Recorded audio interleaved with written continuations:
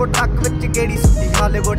ਇਹ ਦੇਸੀ ਮੁੰਡਿਆਂ ਦੇ ਸੁਣੇ ਬਾਲੀਵੁੱਡ 뮤직 ਦੀ ਵੇਵਾ ਨਾ ਭਾਲਦੇ ਕੋਫੇ ਵਗਾਉਣਾ ਵੀ ਆਉਂਦਾ ਤੇ ਲਿਰਿਕਸ ਹੈ।